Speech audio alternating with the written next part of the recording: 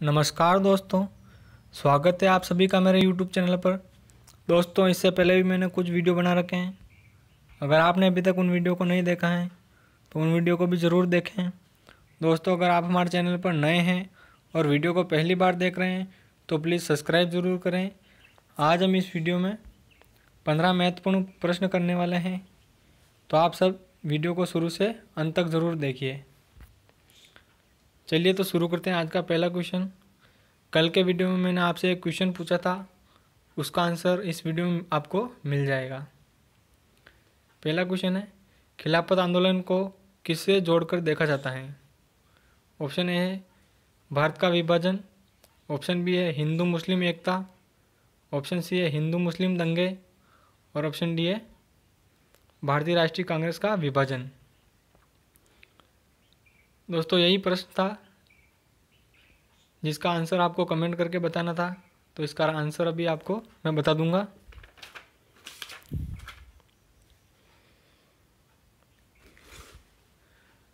तो इसका right answer है ऑप्शन नंबर बी जो कि है हिंदू, मुस्लिम, एकता। क्वेश्चन नंबर दो है, चोल साम्राज्य का अंत किसने किया? ऑप्शन ए है C R Das option B है मोहम्मद गजनवी ऑप्शन सी है मोहम्मद गौरी और ऑप्शन डी है इनमें से कोई नहीं। दोस्तों आज भी इस वीडियो में आ, मैं आपसे एक क्वेश्चन पूछने वाला हूँ। उस क्वेश्चन का आपको आंसर कमेंट करना है मुझे। तो इस इसका राइट आंसर हो जाएगा ऑप्शन नंबर डी इनमें से कोई नहीं। क्वेश्चन नंबर तीन है स्वराज पार्टी का गठन कब हुआ?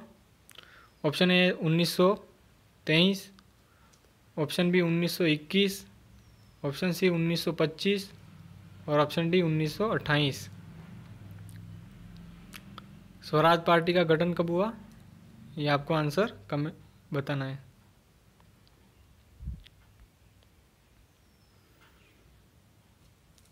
तो इसका राइट आंसर हो जाएगा 1923 ऑप्शन नंबर है इसका राइट आंसर हो जाएगा। स्वराज पार्टी का गठन कब हुआ? तो हुआ होता 1923 में। अगला क्वेश्चन है। क्वेश्चन नंबर चार, आज़ाद हिंद फौज का गठन कब हुआ? ऑप्शन ए उन्नीस ऑप्शन बी है उन्नीस सौ बयालीस ऑप्शन सी है उन्नीस सौ तैंतालीस और ऑप्शन डी है उन्नीस सौ पैंतालीस। लगाइए अपना अपना आंसर और कमेंट कीजिए। क्वेश्चन नंबर चार का राइट आंसर आज़ाद हिंद फौज का गठन कब हुआ?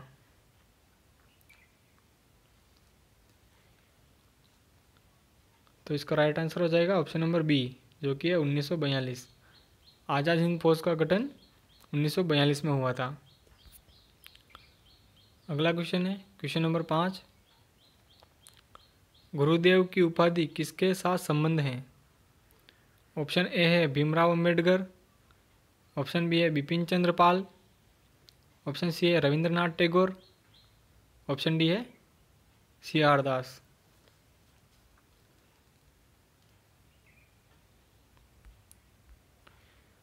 तो बताइए क्वेश्चन नंबर पाँच का राइट आंसर और कमेंट कीजिए।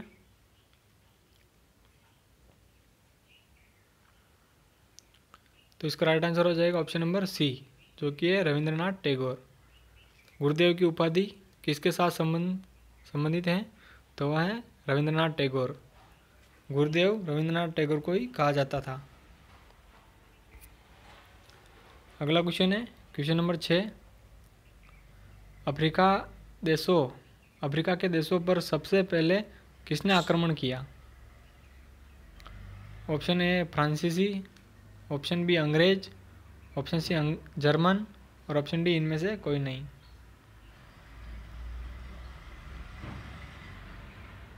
लगाइए अपना अपना आंसर और कमेंट कीजिए।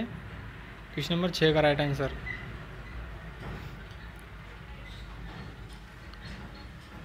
क्वेश्चन नंबर छः का राइट आंसर हो जाएगा ऑप्शन नंबर ए जो कि है फ्रांसीसी। अफ्रीका के देशों पर सबसे पहले आक्रमण फ्रांसीसियों ने किया था। अगला क्वेश्चन है, क्वेश्चन नंबर सात। बिना प्रतिनिधित्व के काराधान नहीं, नारा का संबंध है। ऑप्शन ए है फ्रांस की क्रांति। ऑप्शन बी ब्रिटिश नागरिक युद्ध। ऑप्शन सी भारतीय राष्ट्रीय आंदोलन। ऑप्शन डी, अमेरिका स्वतंत्रता युद्ध.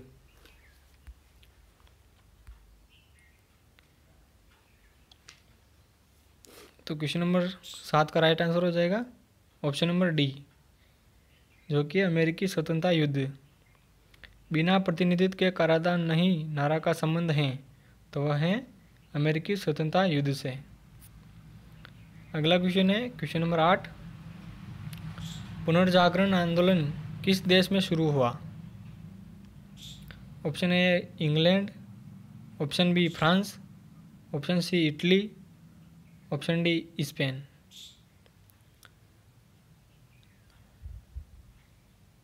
तो इसका राइट आंसर कमेंट कीजिए। पुनर्जागरण आंदोलन किस देश में शुरू हुआ था? तो हुआ था इटली में।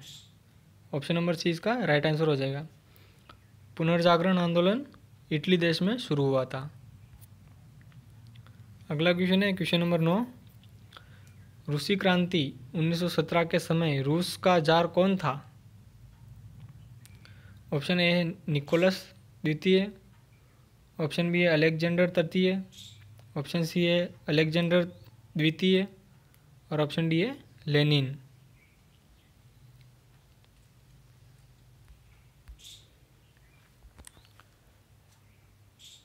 कमेंट कीजिए। क्वेश्चन नंबर नौ का राइट आंसर रूसी क्रांति 1917 के समय रूस का जार कौन था? तो वह था निकोलस द्वितीय। ऑप्शन नंबर ए इसका राइट आंसर हो जाएगा। निकोलस द्वितीय। रूसी क्रांति 1917 के समय रूस का जार निकोलस द्वितीय था। अगला क्वेश्चन है क्वेश्चन नंबर दस। ध्रुव राष्ट्र देश में कौन सा देश शामिल नहीं है? ऑप्शन ए है जर्मनी, ऑप्शन बी है जापान, ऑप्शन सी है इटली और ऑप्शन डी है फ्रांस की राजधानी पेरिस।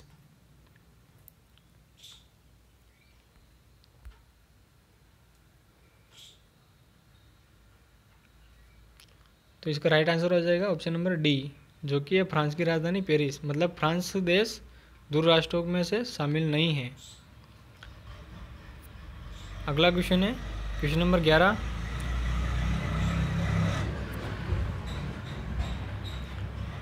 मित्र राष्ट्र में कौन सा देश शामिल नहीं है? Option A America, option B Italy, option C Russia और ऑप्शन डी है यूनान।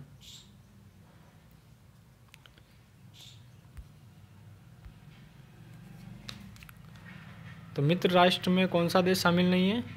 आंसर बताइए, कमेंट कीजिए। क्वेश्चन नंबर ग्यारह का राइट आंसर हो जाएगा। ऑप्शन नंबर डी जो कि है यूनान। मित्र राष्ट्र में यूनान देश शामिल नहीं है। अगला क्वेश्चन है, क्वेश्चन नंबर बारह। रूस क्रांति का मुख्य कारण था। आपको बताना है, रूस की क्रांति का मुख्य कारण क्या था? ऑप्शन ए है, रूस में औद्योगिक विकास में कमी। ऑप्शन बी है किसान पर ऋण का भारी बोझ। ऑप्शन सी है रूस की जन, जनता पर दमनकारी कानून। और ऑप्शन डी है भारी अकाल। तो क्वेश्चन नंबर बारह का राइट आंसर कमेंट कीजिए। रूस की क्रांति का मुख्य कारण क्या था? तो वह था रूस की जनता पर दमनकारी कानून। ऑप्शन नंबर सी इसका राइट आंसर हो जाएगा। रूस क्रांति का मुख्य कारण। रूस क्रांति का मुख्य कारण यह था, जनता की, रूस की जनता पर दमनकारी कानून।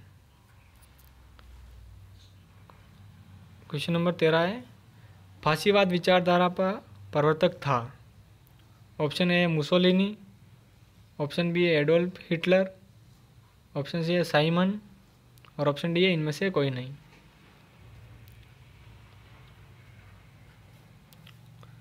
तो क्वेश्चन नंबर तेरह का राइट आंसर हो जाएगा।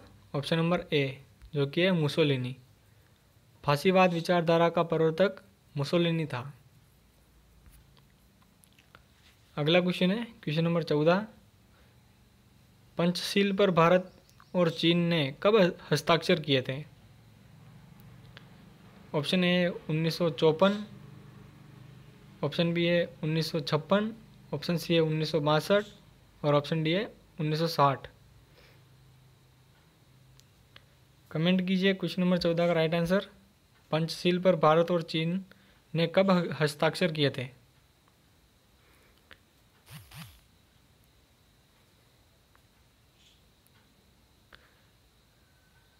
तो इसका राइट आंसर हो जाएगा ऑप्शन नंबर ए जो कि है उन्नीस पंचशील पर भारत और चीन ने उन्नीस में हस्ताक्षर किए थे। अगला क्वेश्चन है। क्वेश्चन नंबर पंद्रह, चीन ने भारत पर कब आक्रमण किया? ऑप्शन ए है उन्नीस सौ इकसठ ऑप्शन बी है उन्नीस सौ बासठ ऑप्शन सी है उन्नीस और ऑप्शन डी इनमें से कोई नहीं। तो बताइए, चीन ने भारत पर कब आक्रमण किया?